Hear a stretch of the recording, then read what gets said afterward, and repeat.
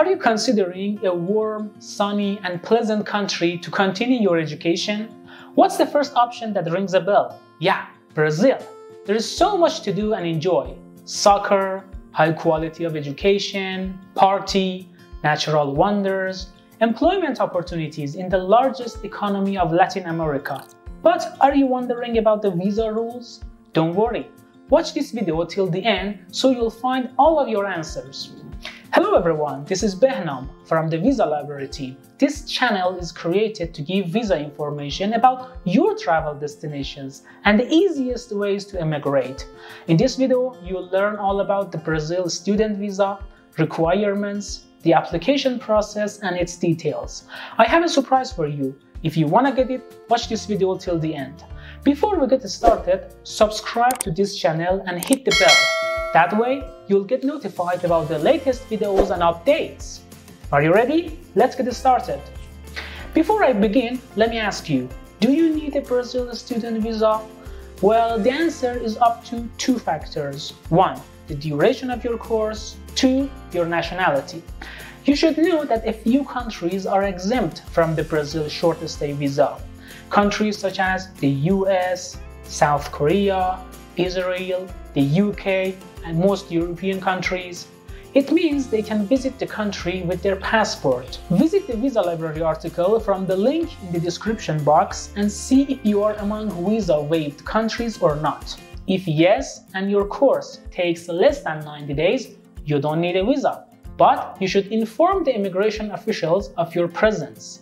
In case your course takes longer than 90 days, you have to apply for a Brazil student visa. Let's say your nationality wasn't among the visa waived countries. Now what? Well, in this case, you have to apply for a student visa and the duration of your stay doesn't matter. Do you want to know how to apply for a visa? Let's begin. The first step is to apply for a study program in a Brazilian university or education center. You need to prepare the requirements and apply to them. Each center has its own requirements, such as your latest educational certificate, a diploma, master's or bachelor's degree, your transcripts, a statement of purpose or a study plan, a proposal, a sample of writing, paid application fee, the language proficiency test, IELTS or TOEFL if the course is in English, CELPE BRAS, the official proficiency test for Portuguese. I don't know if I got the pronunciation right, sorry, I'm not that good in Portuguese. Visit the university's website and find the program you want to apply for to find the precise requirements. Pay attention to details, see the exceptions, and read every line with care. After receiving your application, the university provides an acceptance or enrollment letter. Now you can continue the application process. On this part, you should gather the supporting documents for your student visa. Number one is the application form. If you're already in Brazil with a tourist visa, you should complete the online form on this website. You can find the complete link in the description box. You also need to get a clean record certificate. You can find the link again from the description box. After completing the form, visit the nearest immigration center to complete the procedures. Then pay the fees. If the authorities agree, your status changes to study permit. It's done. You, you don't have to do anything else. Now, are you going to apply from your home country if yes, find the nearest Brazilian embassy or consulate in your home country. Visit their website and download the PDF application form. Complete it with your personal information. Your full name as written in your passport, date of birth, passport number, email address, nationality, related information about your course of study, duration of your stay in Brazil, the student number provided by the university, and everything else. When you're done, print, date, and sign the form. Number two in the requirement list is health insurance. Purchase insurance that covers all of your expenses during the trip for 30,000 euros. Okay, the next step is the cost of studying in Brazil. How are you gonna pay them?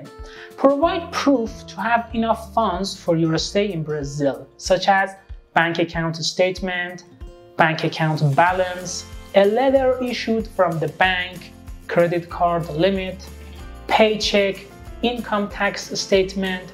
The document needs to have a signature and a stamp from the issuing authority. But wait a minute, how much do you need in Brazil? What I'm about to tell you is a helpful formula. If you're applying as a self-fund student, you need one year tuition plus the cost of living for one year in Brazil by 10 to 20% higher. Let's say your tuition for one year is $20,000 and the cost of living is $10,000. So you need about $39,000. In case you have received funds from the university, subtract the amount from the mentioned formula. Do not forget to provide evidence from the university if you have funds or fellowships. Are you wondering to work in Brazil while you're studying? You cannot work in Brazil while you're studying. You can work when your course ends and a Brazilian company is willing to hire you, but you have no permission to work while you study. Number three is your passport. It must be valid for at least six months over the date your course ends. Then take a look at the date it was issued. Is it older than 10 years ago? If yes, get a new passport, just to be on the safe side. Number 4 is the photo of you as the main applicant. Provide two 3 by 4 photos with a clear white background. Don't think of any shortcuts. The embassy won't accept scanned or copied photos. Also, your photos cannot be older than 3 months ago. If your face has changed a lot in the past 3 months, take a new photo. Number 5 is a clean record certificate. Get it from the police in your home country. The issuing authority must sign and stamp it. Number 7. A certified copy of your birth certificate. Number 8 is proof of accommodation. Make it clear where will you stay during your study. A dormitory? Provide proof from the university. A rented apartment? Submit rental agreement. Let me ask you, are you gonna stay with a friend or relative? If yes, ask them to send you an invitation letter and submit it along with your other documents. Number 9. Are you under 18 years old? If yes, a permission letter signed by both parents is required. Last but certainly not least point to remember is that the authorities could require further documents. It's up to different factors, such as your special case, the country you apply from, the program or degree you have enrolled in, and other items. If your documents are not in English, have them translated into Portuguese or English by a verified translation office with a stamp and signature. The next step is to schedule a visa meeting with the Brazilian embassy in your home country through a phone call, sending an email, or a personal visit. The way is up to the embassy. Remember the exact date and time of the meeting. You cannot be late for it. Being late, you might have to say goodbye to your meeting. When the date comes, bring all the gathered requirements, your passport, the printed application form, and other ones, and visit the embassy in person. Entering the embassy could take you some time, so get there about an hour early. You can ask friends or applicants about the entrance procedures just to get familiar with them. When meeting the officials, submit the requirements. You have to double check everything in advance. There is no copy service or sorry I forgot this part. There is also a fee with the application, which you have to pay for it. Without paying the fee, there is no processing. Are you wondering how much? It's about $180, but it might change it's up to the country you live in and the embassy services. You can see the fee on the embassy website or ask them in advance. So bring enough cash or your credit card. The visa officer will also ask questions about your course, university, the city you will stay in, the reason you picked Brazil and this particular university, your plans after your studies. This part is called the interview and it's important in your application process. Prepare answer for all of the questions. If the embassy suspects that your purpose of visit is not genuine, they are likely to reject you. You would better be honest and have convincing reasons. So, do your homework well. After the meeting ends, you should wait until the embassy works on your visa. There are two possible cases here. First, your application is rejected.